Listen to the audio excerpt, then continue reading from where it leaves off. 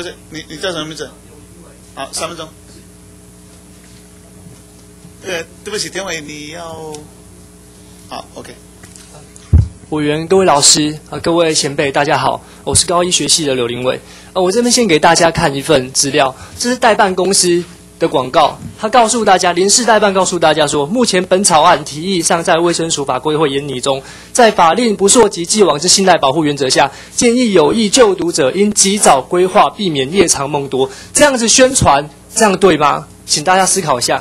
另外，有关见习、实习方面问题，我们查了波兹南大学的，就是这次台生人数最多的官方网页，他们指出，如果你想在波兰实习行医的话，必须在当地实习超过十八个月，并通过波兰的国家考试，才能在当地执业。如果这样子毕业学生在波兰当地都不能执业的话，为什么我们台湾要无条件的接收你呢？那另外说，如果你要在欧盟其他国家执业，该国有权要求实施额外的检定需求，这都在波兹南大学的网页上面。波兹南大学在波波呃在波兰排名全国第二，那其他的那些学校，那我就不再提了。他们甚至连呃见习、见实习都安安排暑假，然后你自己去找医院，哦、然后然后自己安排自己的见实习，这样的水准，台湾的医学生不能苟同。那另外，呃，有台生家长说，呃，我们怕竞争。我想，呃，真正怕竞争的，大家应该看得很清楚。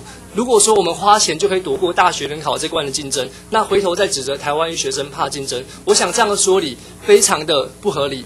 那最后，嗯、有关信赖保护原则这方面，嗯、我想再引述一次医师誓词。我今年是大四医学生，今年八月我就要进医院开始见习了。在我的桌垫底下，我放了一张医师誓词。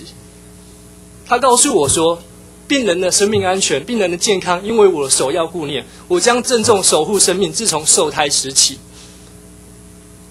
看了这医师誓词，我每次都看到很非常想掉眼泪。台下老师们，老师们，你们告诉我们，我们病人健康应该放在我们首要顾念。台下医界前辈们，你们也是这么说的。那如果说你们今天可以把信赖保护原则这个东西放在病人的健康之上，这样子叫我们台湾学生，我们平常聆听你们教诲，我们要怎么苟同呢？所以我想请委员们、所有的盛会贤达们，还有老师们，请你们在这边，我们台湾医学生在这里虚心受教了，请你们帮我们上一堂真正的医学人文、医学正义的课，谢谢。